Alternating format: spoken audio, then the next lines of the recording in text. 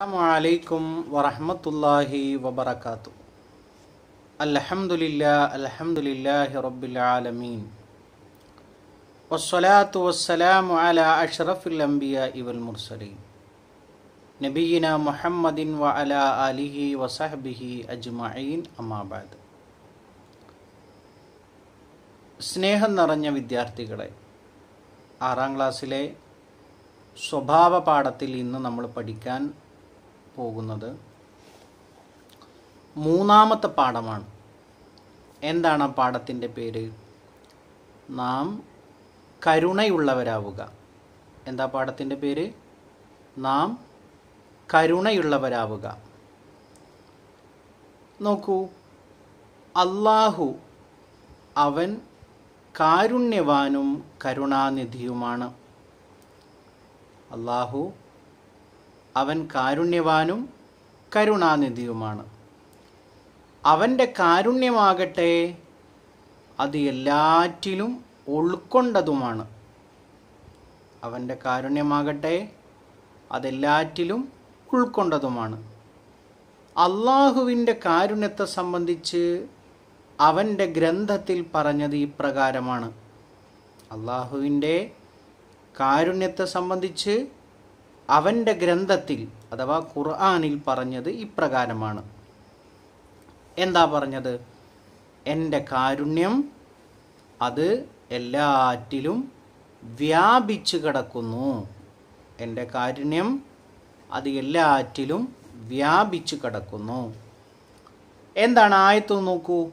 വക്തുബുലന ഫി ഹാദിഹി ഹസനത്തൻ വഫില്ലാഹിറത്തി إنا هدنا إليك قال عذابي أصيب به من أشاء ورحمتي وسعت كل شيء فسأكتبها للذين يتقون ويؤتون الزكاة والذين هم بآياتنا يؤمنون എന്താണ് അങ്ങനെ പറഞ്ഞാൽ ഇഹലോകത്തും പരലോകത്തും ഞങ്ങൾക്ക് നീ നന്മ രേഖപ്പെടുത്തുകയും അഥവാ വിധിക്കുകയും ചെയ്യണമേ.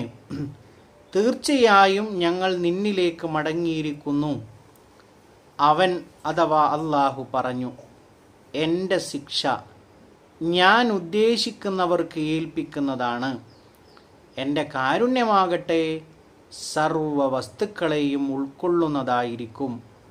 എന്നാൽ ധർമ്മനിഷ്ഠ പാലിക്കുകയും ജക്കാത്ത് നൽകുകയും നമ്മുടെ ദൃഷ്ടാന്തങ്ങളിൽ വിശ്വസിക്കുകയും ചെയ്യുന്നവരായ ആളുകൾക്ക് പ്രത്യേകമായി ഞാൻ അത് രേഖപ്പെടുത്തുന്നതാണ്.